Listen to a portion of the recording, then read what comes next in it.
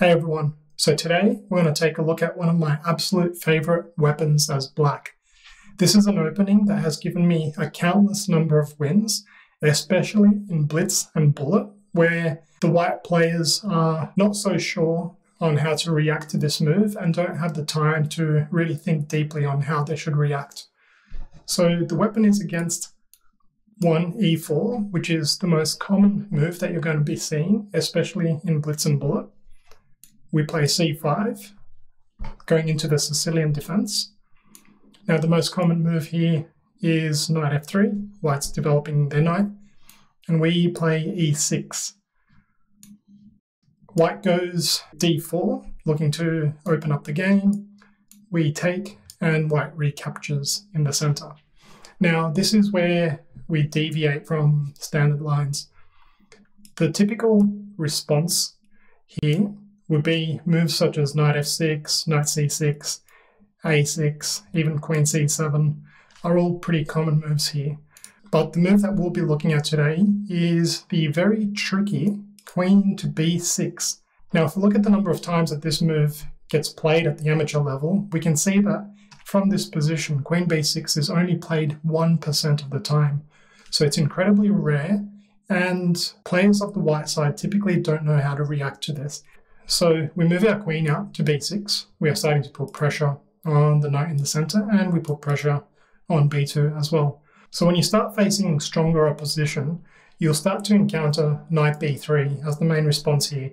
And they play it in a slow positional manner with c4, looking for a Maroczy-Bind type setup. But against your typical club players and online players as well, the most common response that you'll see in this position is actually knight to c3. So white is playing the same way that they would play any other open Sicilian position. Now, the key part to this variation is we bring our bishop out to c5. And look at this. It is only five moves into the game, and black is already threatening to win a piece, right? So this knight is on under attack in the middle of the board, and white needs to do something about it. I have seen so many horrible ways of white trying to, to deal with these issues. The most common approach that you will see in this variation is bringing the knight out to a4 here, where the knight attacks both the queen and the bishop. White thinks that he's being incredibly smart, he's attacking both of these pieces, and his idea is that he'll take your bishop after the black queen moves and he'll have the bishop pair. What we do is we give a check he then intercepts that check with c3. Our bishop is under attack, and so we simply take the knight. Now this pawn is pinned, so white recaptures the bishop with the queen. In this position here, in Blitz and Bullet games, for white players who aren't really familiar with this position, they all think that they are going incredibly well. They've got a piece developed, they have a pawn in the center, they have a centralized queen, they are pressuring g7 at the moment, which at the moment is hanging and would lose the rook as well. So white players in this situation would be feeling very confident about themselves. We simply play knight f6, blocking that attack onto g7. And in this position here, I have seen so many incredible one move blunders even from players as highly rated as 2,200.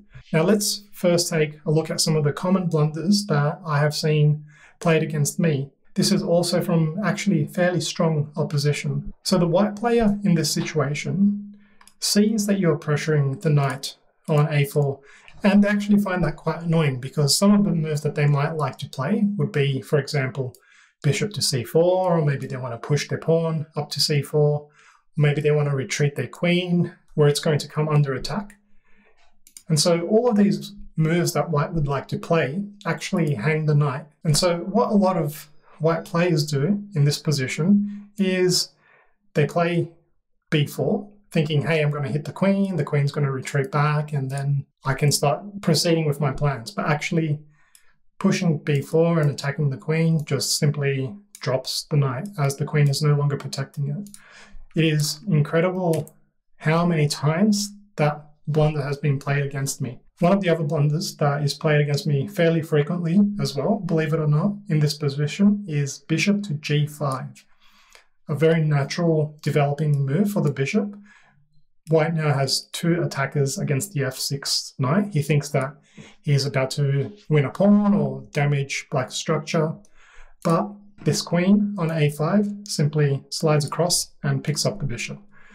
Now, it is incredible how often that move, bishop g5, is played. If we look at the statistics down here, we can see that bishop g5 here, in this position, is played in 10% of the games, and it simply hangs a piece in one move. It is absolutely incredible to see how how frequently people just make this one move blunder in this position. Now, believe it or not, those two one move blunders that we just looked at aren't the only way for white to immediately lose the position. So the second most common move in this position, believe it or not, is bishop d3. So white brings out his bishop to a natural aggressive diagonal. He'd like to push forward e5, opening up his bishop to attack against the black king side. What is there not to like about this move? It's so natural. We're developing our pieces. We're getting ready to castle. We're putting ourselves on active diagonals. This move loses the game immediately for white. And it's such a natural move. And I have had so many incredibly strong players play this move against me. Why is this move losing? We simply play knight to c6.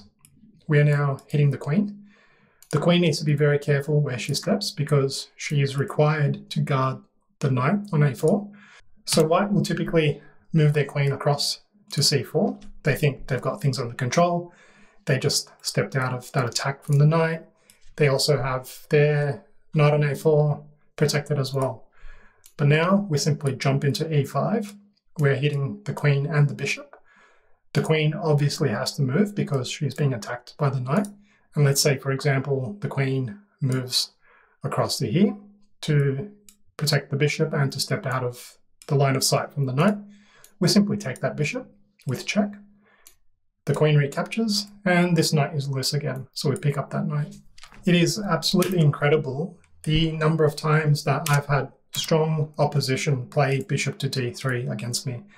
And again, if we look back at the statistics here, we can see bishop to d3 is played 13% of the time. So an absolutely incredible situation here. So in this position, which you're going to get a lot, especially in Blitz and Bullet against players below 2000, you're going to get this position a lot.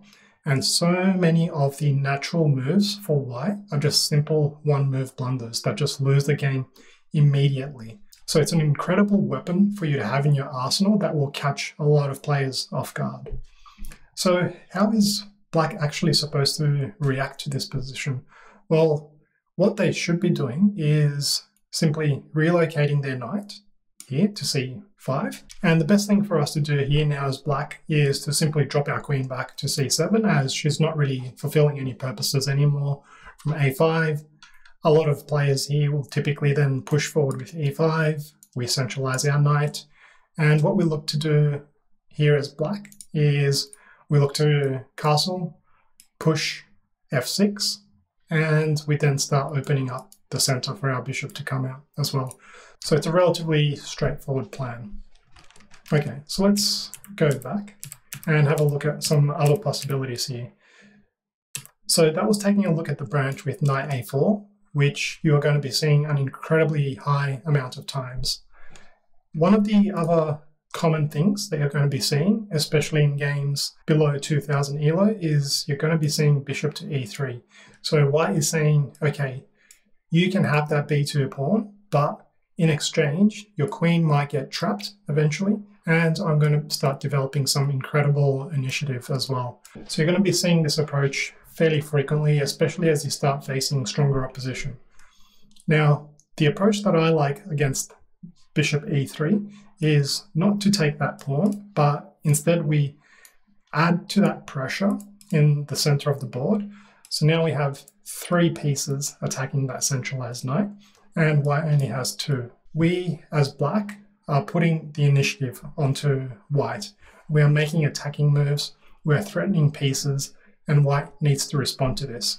So in this situation, black is the one that's actually determining the, the pace and the direction of the game. So what you're going to see in this position is one of three possible knight moves. You'll potentially see knight to a4 with the same idea again, and this is probably what you're going to be seeing most frequently.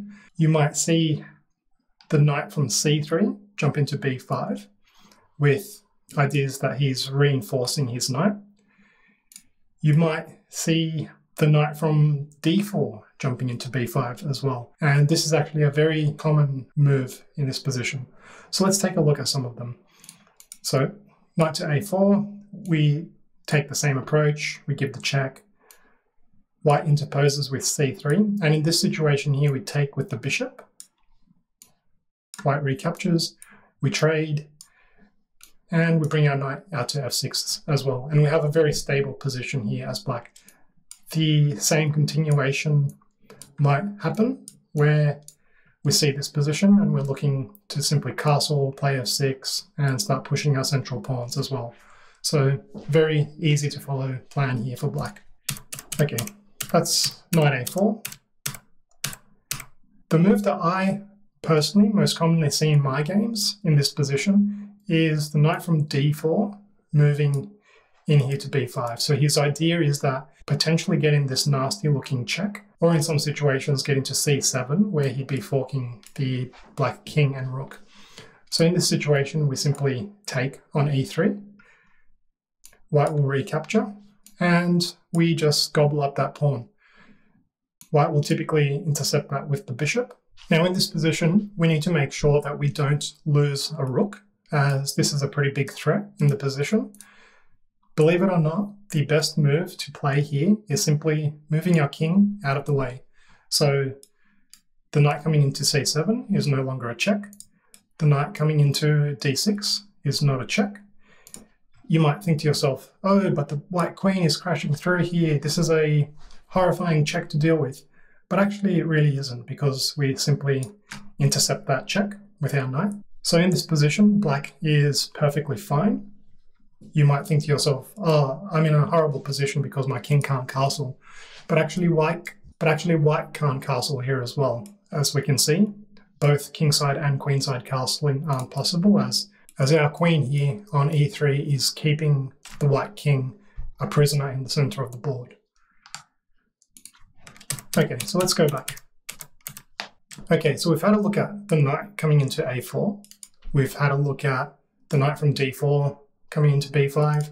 But looking at this position and looking at the stats as well, one of the most common things that you're going to be seeing here is white simply taking the knight on c6. He thinks, hey, the best way for me to resolve this situation with my knight constantly being under threat every single move is let me just exchange it on c6.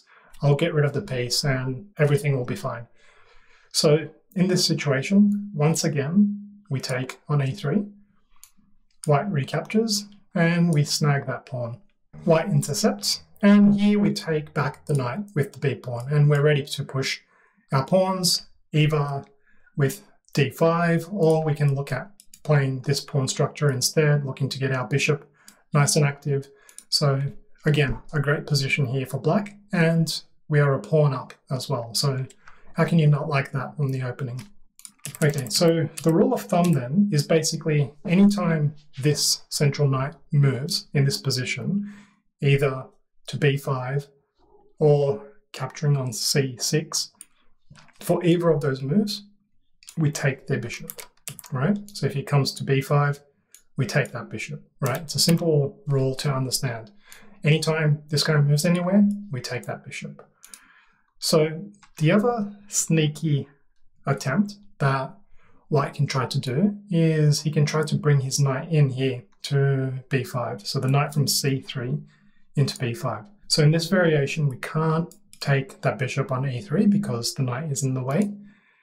He's guarding his knight as well. So exchanging in the center isn't really going to do much other than liquefy a whole bunch of pieces. So the approach that I like to take in this position is to simply develop the knight on f6 and adding more chaos to the board. So have a look at this. We've got pieces under attack. We've got a pawn that's hanging at the moment. There is so much happening at this stage that most players here will just simply be unable to process the complications, especially in a blitz or a bullet game. White wants to simplify the complications so they just take on c6 and exchange pieces. Now, once again, remember the rule. White just moved his knight from d4, allowing us to take the bishop on e3. So we do not recapture, right? We do not recapture this knight. We first take the bishop on e3. Now, the key here and the key difference in this position is that white does not immediately retake that bishop. He instead throws in this check. He thinks to himself, wow, I've got these squares covered, which the king can't escape to. The king has to go to f8. Surely this must be a great situation for white. So a lot of white players, in especially in blitz and bullet, would be absolutely licking their lips at this position here. He retakes, we take with check, he'll bring out his bishop, and in this situation here, we simply retake the knight with our b pawn, and we have a very simple plan here as black. The thorn in our side is this knight on d6, which is preventing us from mobilizing our central pawns. So our plan is we'd like to bring up our king to e7 to put pressure on that knight. With our king on a7, we'd like to bring our queen here to c5 as well, and we'd look to just evict that knight out from that position. So let's see how things could play out, because there's one more very important detail that you'd need to know about this position, and it would catch a lot of players out in blitz and bullet. So typically here, white will bring out their rook to f1. They're looking to evict the queen. We step up with our king. We are pressuring that knight. White proceeds with his plan. He's looking to kick out the queen. Now, in this situation, we can throw in this check. Whether we do that or not doesn't really change things too much. But the point is that we can drop our queen back here. We are now pressuring this knight. And white will slide his rook across to defend that knight, right? So now he's got two defenders and we've got two attackers. Now, the approach that I like to take in this position, and this catches off a lot of players as well. We simply bring our rook across to the half open file here, pressuring the loose pawn on b2, and a lot of players in this situation will play b3, right? They don't want to lose that pawn, so they push the pawn up to protect it. And now there is this move here, queen to e5, which hits all sorts of things. So first of all, we are attacking this pawn, right? We've got two attackers and white only has one defender. We are also attacking a2 as well, which is undefended. And in some variations, it might be important that we are also attacking this rook here as well. So if for whatever reason white wants to develop their queen naturally to d2, then they need to make sure that they are not dropping their rook. Okay, so that's a bit of a whirlwind tour on this crazy queen b6 sideline variation of the Sicilian defense, and it has provided me a countless number of wins, both in blitz and bullet, and so hopefully it can do the same for you as well.